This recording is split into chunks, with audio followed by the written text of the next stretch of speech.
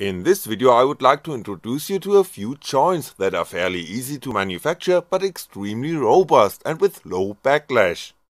Common to all constructions is the fact that the joints are designed to be adjustable, which can compensate for minor inaccuracies during manufacture. While some designs came from my 3D printer I made the really sturdy versions out of metal with a handsaw and a drill. The basic construction principle of the joints can be seen here. The core elements are screws with round heads and flat iron bars with countersunk holes, both construction elements are each attached to an aluminum square tube.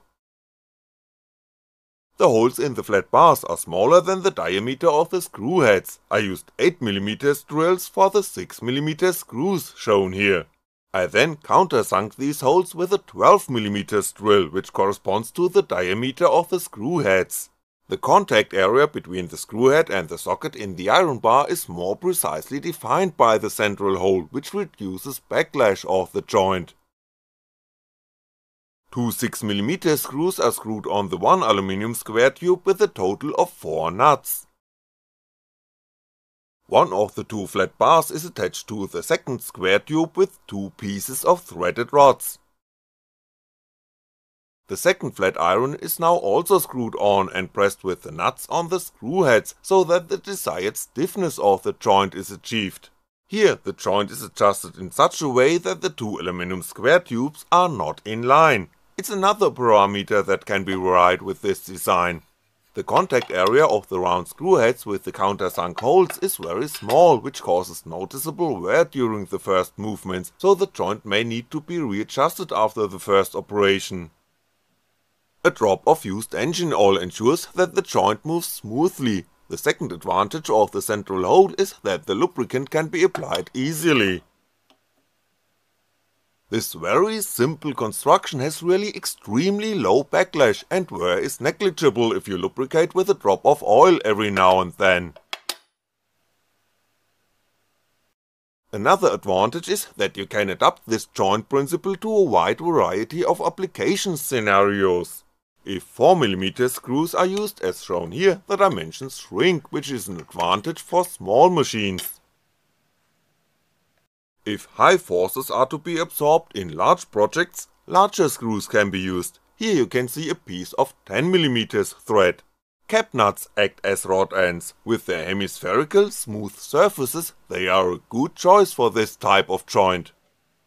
In addition to the dimensions, this joint type is also suitable for experimenting with different materials.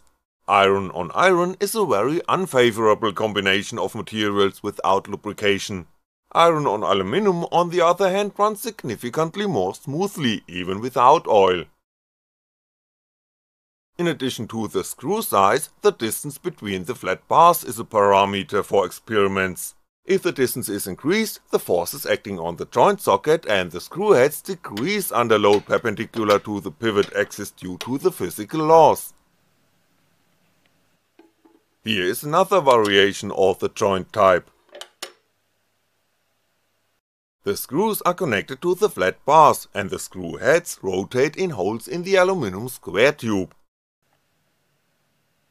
If a universal joint is required that can rotate around two axes, this is also not a problem. The center part consists of 4 screws attached to a small piece of square tube. Both axes are adjustable, the universal joint is sturdy and has very little backlash. I turned on my 3D printer for the next experiments. The material combination is now steel and plastic, more precisely PLA, that works very well even without lubrication. The centerpiece is a cube with 4 dents, serving as the sockets for the screw heads. Here too, Holes go through the cube in order to keep the contact area between the screw head and the cube smaller and therefore more precisely defined, which reduces the backlash of the joint. 3D printers enable rapid testing of different geometries, part of my joint evolution story can be seen here. Two universal joints form a cardan shaft and can compensate for the axial misalignment on drives. If a higher torque is to be transmitted, screws with larger heads do not necessarily have to be used. It is sufficient to enlarge the dimensions of the joint forks and the centerpiece, thanks to the law of the lever. If no excessive forces are transmitted, the dimensions of the joint can be significantly reduced. In addition to the function as a cardan shaft, universal joints with push rods can be used for example in CNC machines based on the delta principle. I will build such a machine in course of my contribution to the Hackaday prize this year. If you want to support me in entering the second level of this competition you can follow the link below the video and leave a like, thank you. And if you have a good idea you can of course take part in the competition yourself, it's worth it. You can find more information about this type of joints as well as the 3D files on my pages. Thanks for watching and